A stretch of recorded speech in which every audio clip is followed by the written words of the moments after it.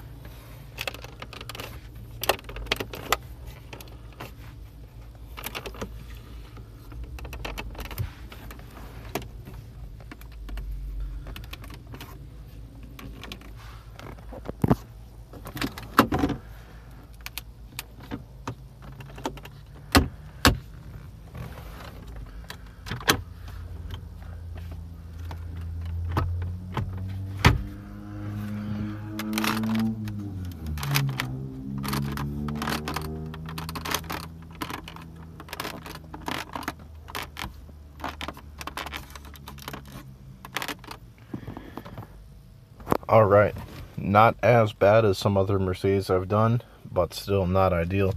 Not as good as BMW, definitely not as good as Audi. Gonna give this a 5 out of 10, only because I do like the wood and uh, some of the fake metal bits around here. Looks really nice.